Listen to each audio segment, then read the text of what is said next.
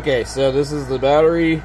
Um, I have a setup here where I have um, cables that use these and these so that I can switch out whatever I want to use. These hobby connectors are pretty cheap, solder them on. So, and then I'll put them in between here. So right now we're looking at what this pole to receive. This battery cracks me up. Um, this funny stuff.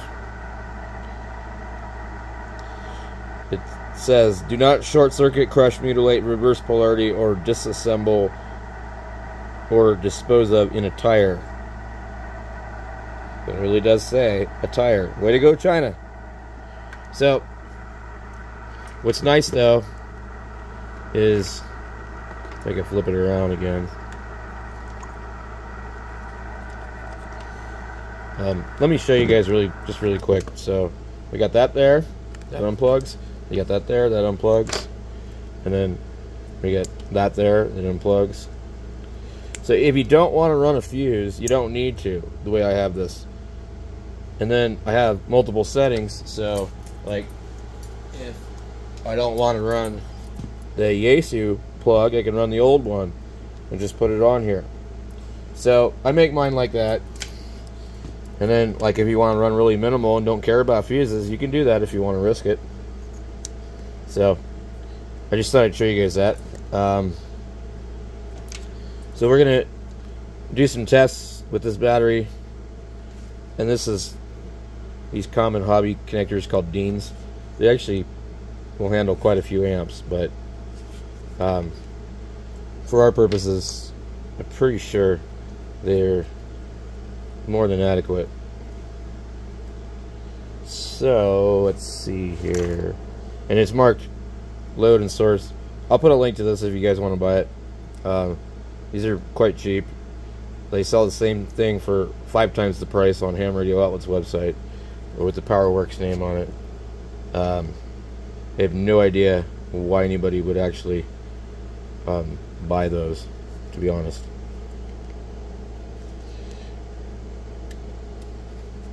So let's see. So we got that there. We can read it. So it started at 13 something. Let's turn the radio off and see what it raises to. Yeah, so it's idly sitting above 13. And I have not charged this battery or done anything with it yet. Um, these batteries are $19. You can't even begin to build a pack for that price. So $40 you could buy two of these and um, running a regular HF radio like this, probably full power for an hour. Um, this one here is on their thing here. They tell my, they tell me that this one is the smallest one they sell. It will do six amps continuous, and um, what is it? Max. Where's it at? Where's it at? Um, being able to do up to 20 amps for three seconds. So these other ones, if you buy the um, 15 amp battery, which I haven't seen on their thing, but uh, it'll do up to 40 amps for three seconds, less than three seconds it says. Um, you get the 30 amp battery they do 30 amps continuous and uh, 60 amps. So the 30 amp battery, um, I can't remember uh, what it was, but uh, I think the 15 amp battery is about $40. So anyway, with these here, you can buy these batteries for a quarter of the price of what Ham Radio Outlet is selling the Bioenno batteries. I mean, it's probably the same thing. It's probably the same quality. You just don't get their little goofy uh, trickle charger, which you know is a waste. It takes two hours to recharge this battery with their trickle charger. What you ideally want to do is have this thing out in the field and have a small, I don't know, 10 to 50 watt solar panel hooked to it, and, and then basically you just keep it topped off while you're using the radio and let the panel do a lot of the work. So let's turn the radio back on.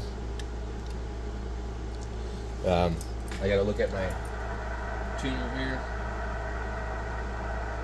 Oh, wait, bypass. Sorry, tired. I would guess that I would probably be tuned for 80.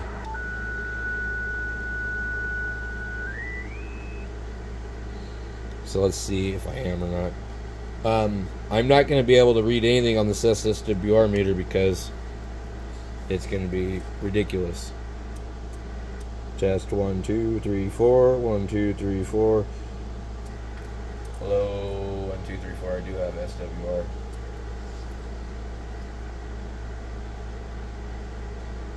So, without actually hooking it to one of my other radios, because the problem with this radio is the SWR meter doesn't read right. It reads good when it's really bad, and it reads good when it's good. But then, if it's bad, sometimes it reads bad. But I don't know where the hell I'm tuned for, to be honest with you. Um, I think I might actually be tuned for 10 meters. Um, I don't generally use the tuner except for when I run the amplifier. Test one. Look at that. Shut right off. and I bet you it does it again. So, um, it's most likely um, RF related. So, um, let me pause the video. I'm to check and see where I'm at. because This doesn't have like an SWR scanner. So I confirmed with the other way uh, radio on 28387 somewhere around there. Um, it's uh, flat. I have a feeling it will turn off.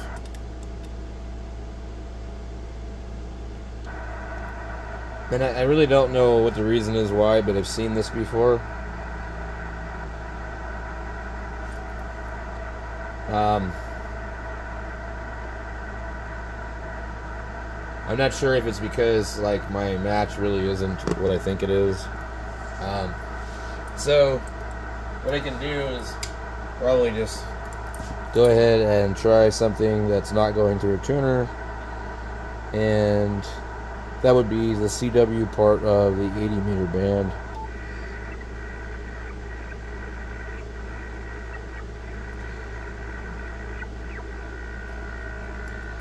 And uh,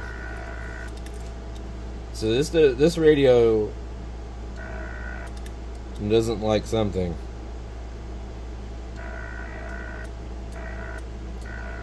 And now it's not doing it. Test. Yeah, so I literally ran the 756 Pro on this battery. Well, this is why you need to know these kind of things before you go and go out in the field. Not all radios are tolerant of lower voltage. Um, and I don't know if that's the particular reason why this one is doing this. Um, so let me do some checking and I will come back. Okay, so we're testing right now. We are drawing 3.8 amps at 12.6 volts, which means that we're not putting out much power. I am looking over at my watt meter. I see a couple of uh, watts, and we do have a flat match to the tuner. So this is not working, but it's not shutting down. So what we need to do now, we know that the processor is on, okay? But I'm gonna see if I can get in here and just turn that off. I can't remember where it is. Right.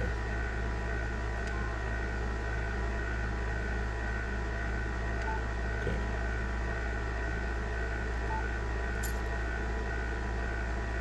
Test one, two, three, four. And the radio thinks that I have a high SWR, so it is folding back power. Is what I think. I could be wrong. Um, I'm sorry. I have this completely wrong. So we're on the CW part, we are tuned to about that frequency, but up near 3.8. So 3.855 was what I tuned it to. Hello. Now, that's really strange because now it just wants to shut down.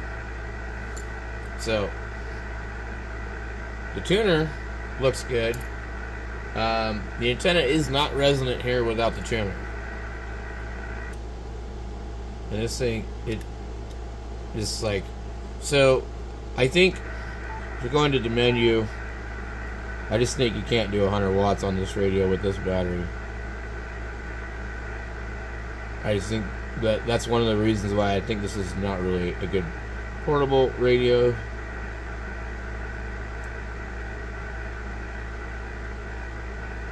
Um, see here.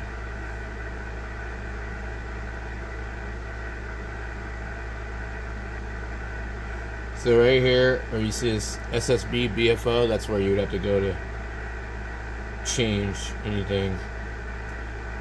Okay. We have uh,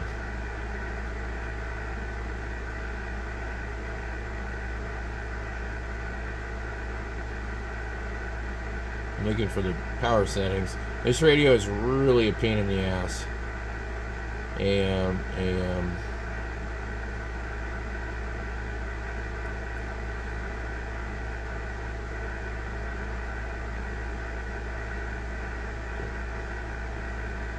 We definitely went past it.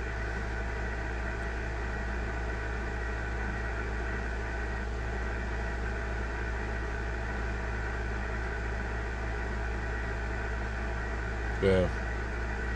There's more than one setting.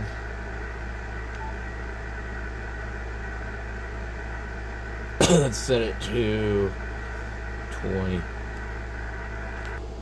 So now I've tried something strange. I turned it down to 20 on sideband and it didn't. It just did the same thing.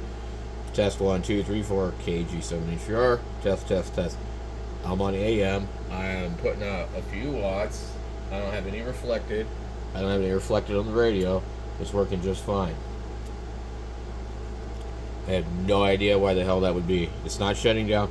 Hello, one, two, three, four. I'm drawing uh, six amps. Six amps. So the radio is probably rated 20 watts on AM and about a quarter of a 100 watt scale. So let's try something else. Uh, we'll try FM, which should put out a ton of power and it should make the radio shut down. Um, FM, I am drawing 8.7 watts. The radio shows no SWR. I see about 50 watts on my Heathkit tuner that's going to be RMS power. So it's doing about 50 watts on FM um, because our battery voltage has sagged to 11.8. Um, why in the hell will this not work on sideband is beyond me. So that's kind of a test of this particular radio. Um, I don't really know that this is a good field portable radio with batteries. I've used it in the past with lead acid batteries and I've had problems too. So I've used a battery that would be double the size of this, like a backup battery. Um, I've had problems. It's uh, it's really strange. So now we go up to RTTY, and we're pulling 9 amps, I'm seeing 50 watts. It's not shutting down. Okay.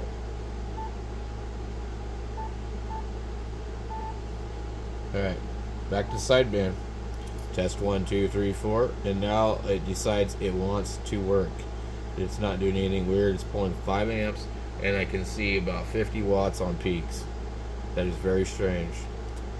So, it's possible that there is a problem in my rig here with maybe these connections or something like this. Maybe there's a problem in this radio. It came from an operator that abused the crap out of this radio. He hooked up an SB220 directly to the uh, keying port. Um, I think he also Um, yeah, I think he also did the. Um, uh, he had a lightning strike, and he also Mars modified the radio, and he didn't do it correctly, and just blobbed a bunch of solder in there, and um, we undid the Mars mod that he did on it, but I'm not really sure because the internals of this radio look a little bit different than most of the other ones. So um, basically, just undid everything, but it's still unlocked. Uh, and I can't find a radio that looks the same as this one on the inside. So there's some solder pads, and he um, also damaged the attenuator resistor, which was replaced. That's a common problem on these in the 991As, so that's not like anything out of the ordinary. But um, the fact that the SWR meter doesn't work right and some other things, um, if the SWR is reading higher, high, it's going to go into a foldback. Um, so this radio here, I, I mean, is a, probably a bad example. So anyway, what I want to do now is I'm going to go ahead and shut this radio down and I'm going to pull the G90 out of this box.